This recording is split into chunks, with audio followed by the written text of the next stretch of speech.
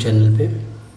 तो आज हम बात करेंगे कुछ समस्याएँ अगर किसी को हो रही हैं, जैसे कोई भी प्रॉब्लम है तो उसमें कारण क्या हो सकता है? तो हम देखते हैं हमारे क्लिनिक पे हमें माइग्रेन के पेशेंट मिलते हैं। तो अगर किसी को माइग्रेन की प्रॉब्लम है तो कहीं ना कहीं उसका ईगो से रिलेटेड प्रॉब्लम है, या कुछ इमोशनल सप्रेशन वो कर रहा है, जिसकी वजह से उसको प्रॉब्लम आ रही है। तो अगर माइग्रेन की बात करें तो माइग्रेन में ईगो हो गया और इमोशनल सप्रेशन आ गया। अगर किसी को डायबिटीज़ हो रही है तो डायबिटीज़ में क्या देख सकते हैं?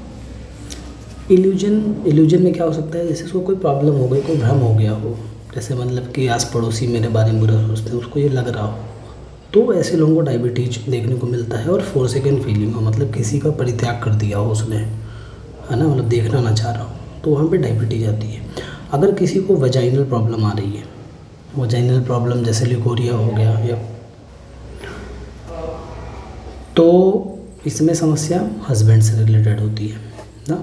अगर यूटरस की बात करें मतलब जैसे किसी को फाइब्रॉइड हो गया यूट्राइन फाइब्रॉइड हो गया, या और भी कोई प्रॉब्लम है तो यूट्रस क्या करता है? बच्चे को स्टोर करने का काम करता है तो यहाँ पे बच्चों में कोई प्रॉब्लम हो तो यूट्रस में समस्या देखने को मिलती है।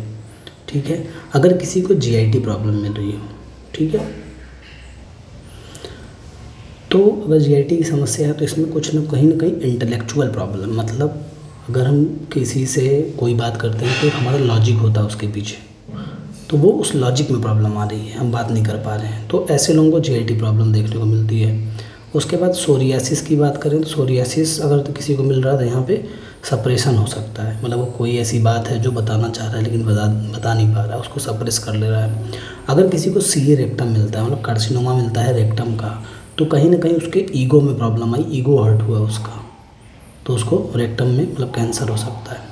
अगर किसी को लीवर की प्रॉब्लम आ रही है तो लीवर में क्या हो सकता है, उसको प्रॉपर्टी से रिलेटेड उसका प्रॉपर्टी में लॉस हुआ हो, या मनी मतलब उसके एक बैग जो उसकी मनी चली गई हो, ना, नुकसान हो गया उसका तो कहीं ना कहीं स्टोरेज से प्रॉब्लम अगर आ रही है तो लीवर डैमेज होता है।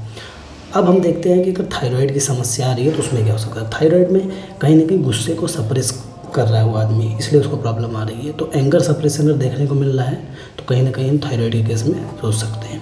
अगर उसको थ्रोट प्रॉब्लम आ रही है मतलब बार बार रिकरेंट टॉन्सिलाइटिस हो रहा है, या कैंसर ऑफ़ थ्रोट हो रहा है, या कुछ भी मतलब प्रॉब्लम आ रही है, बोलने में दिक्कत हो रही है तो कहीं ना कहीं वो कुछ बोलना चाह रहा है, वो बोल नहीं पा रहा है। तो ये कुछ बीमारियाँ हैं जो मतलब कि हम, हमारे पास अगर पेशेंट आता है तो हम उसको जो है, हम समझ सकते हैं कि मतलब जो है उसको अगर यूट्रस की प्रॉब्लम आ रही है तो कहीं ना कहीं बच्चों में कोई दिक्कत है। तो अगर हम मेंटल होम्योपैथी में फॉलो करते हैं कि मेंटल के बेसिस पर मेडिसिन को निकालते हैं तो हम इसको, इस लॉजिक को यूज़ कर सकते हैं। आप सभी का बहुत बहुत धन्यवाद।